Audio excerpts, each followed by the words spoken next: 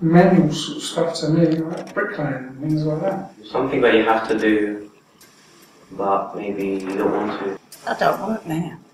Too old. Challenging but rewarding. At the moment, work means stress. Work uh, was uh, a way of uh, earning the money to uh, make your life better. Essentially about the area. We've all lived around uh, Rotherhithe and Bermondsey, right? We have interviewed over 40 people who live in the local community. I was born in Bermondsey in 1950. 1931. 1990.